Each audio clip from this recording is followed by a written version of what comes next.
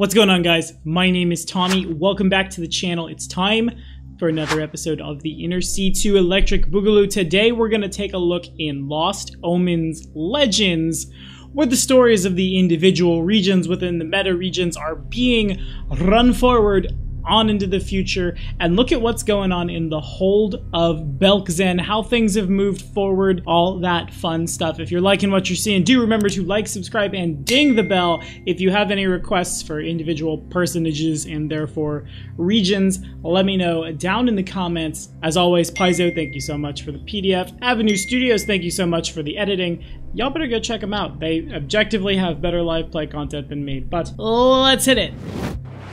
Okay, so as far as this region is concerned, follow this card right up here. We can catch you up on like the premise, the basics, things like that. But one of the things I like the most about second edition, really I find myself saying this over and over again, is that we are slowly transitioning from a world which is a giant kitchen sink of tropes and concepts and things like that and helping it live, letting it breathe or in some cases, assassinating the leader and throwing zombies at them, but yeah, we're, we're getting a little ahead of ourselves. Okay, so now that you've went and watched that old episode of the Inner Sea region of 5 Minute Tour and you're all super caught up, Grask Uldeth, yeah, he's a super dead, it turns out, assassinated, and rulership of the lands has transferred to his Major Domo, Ardax the Whitehair, who refers to himself as the steward of the Hold of Belkzen. He has not claimed the title of warlord, has not ascended to the throne, matter of fact, left Grask's body, blade stuck in it and all, to sit on his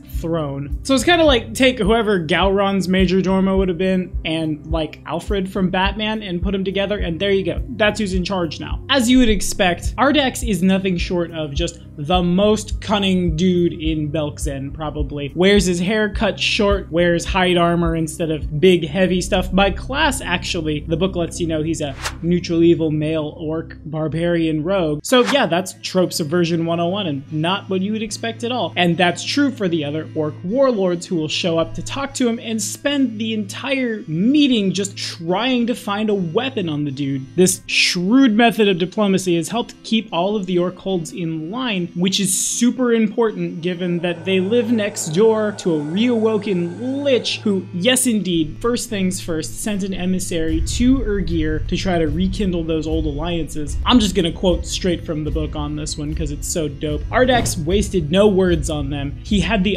envoys cut down as soon as they'd finished their speeches. He then hung their heads on the walls of Urgir and sent their mounts back over the border, dragging the messengers' corpses behind them. Tar-Baphon's proposals stuffed into their necks. Now there's a culture built on power, on strength, on war that, you know, isn't using it to be a bad trope, so that's fun. Anyway, Tar-Baphon was a little miffed at this, one might say, and this kicked off what is today known as the Battle of Nine Broken Skulls. The Lich sent an army of undead into Urgir, into Belkzen, expecting to see a bunch of fractured and warring orc tribes. Instead, Ardax rallied a coalition, used Urgir as their fortress, and held off the Whispering Tyrant's forces. Yeah, you know what? Here's another quote. When the long battle ended with the total rout of the Whispering Tyrant's forces before the united strength of the holds, Ardax strode into the field and claimed 10 skulls from the fallen undead. Nine times, Ardax held a skull in the air before the gathered might of the orcs. He named each after an enemy overcome by orc strength and crushed them in his hands. The tenth he named Tar-Baphon and left Hull adorned with cow horns as a mockery of the tyrant. He kept the tenth skull nearby, bearing it as a reminder of the orcs' shared enemy. And yeah, present day, that's what you're looking at. A fragile nation making allies all over the place. And we're talking everyone from Azaersi and Oprok to Rune Lords reawoken and back again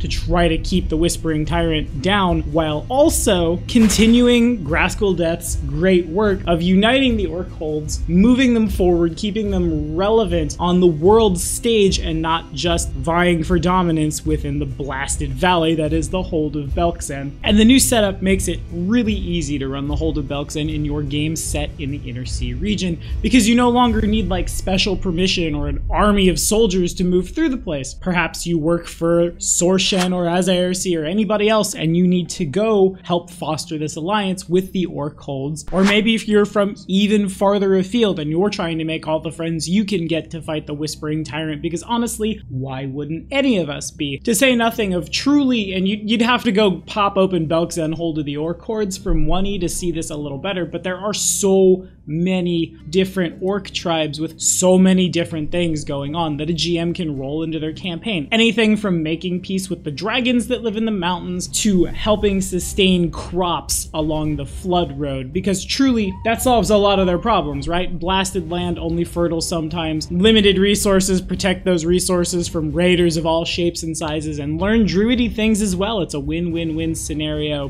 But that's all the time I have for this one. What do y'all think? Are we reenacting famous battles against the Whispering Tyrant in our campaigns? Are we desperately waiting for a second edition campaign where we go to the Gravelands and punch zombies to come out? Of course we are, right? Why wouldn't we? We'll be back at it soon for another episode of the Inner Sea2 Electric Boogaloo. Until then, my friends, we'll see you next time.